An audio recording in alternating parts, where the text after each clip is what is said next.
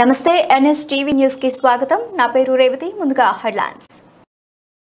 ఐదు కోట్ల ఆంధ్రుల త్యాగ ఫలితమే హైకోర్టు నేడు తీర్పు ఇచ్చిందని సిపిఐ పార్టీ తాడికొండ నియోజకవర్గ కన్వీనర్ పచ్చల సాంబశివరావు గురువారం తెలిపారు.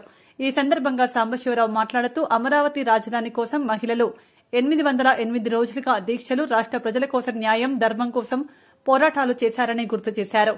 ఈ రోజు ఆంధ్రప్రదేశ్ హైకోర్టుని సీఆర్డీఏ ప్రకారం రాష్ట ప్రభుత్వం వ్యవహరించాలని కోర్టు తీర్పు ఇవ్వడం మహిళలు సాధించిన విజయమని స్పష్టం చేశారు.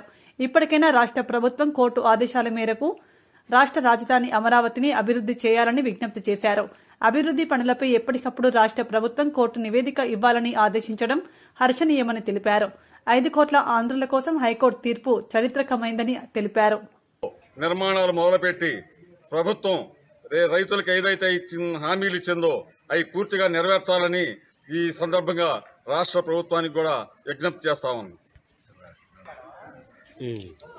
ఈరోజు ఆంధ్రప్రదేశ్లో హైకోర్టు తీర్పు తీసుకున్న నిర్ణయం హర్షణీయమని చెప్పి సిపిఎం పార్టీ ఏరియా రైతు సంఘం కార్యదర్శిగా నేను తెలియజేసుకున్నాను